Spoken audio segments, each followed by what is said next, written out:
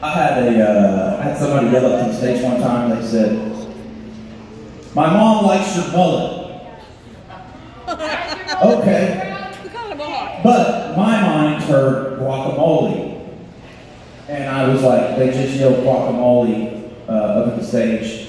This is too good to be true. I fucking love guacamole. I was like, if everybody's feeling good, please yell guacamole, and they all did. And then every show after that, somebody in the crowd yelled guacamole. So, just for my own personal satisfaction, can I hear a guacamole in a one, two, three?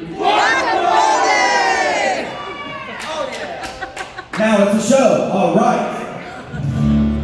Thank you so much for that. It's green. It's green. The lights.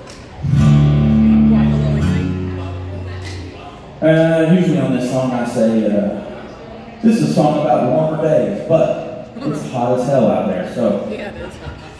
this is a song about a day just like today.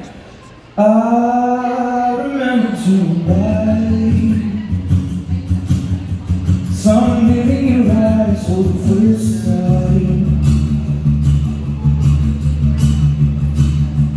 Who waits that